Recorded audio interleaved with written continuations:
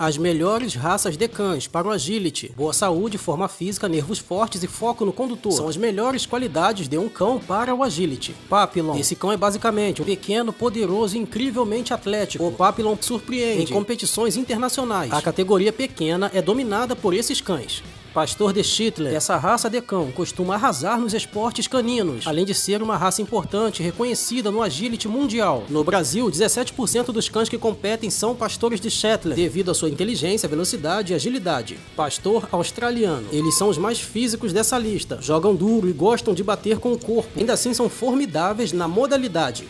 Border Collie. Essa é a raça número 1 um absoluta quando se trata de cães de agility. Nenhuma raça de cão é tão presente, seja na América do Norte ou no mundo, quanto um Border Collie. Por isso, muitos criadores estão apostando em Border Collies esportivos, menores, mais magros, com pernas longas e costas curtas, para o desempenho máximo nas competições.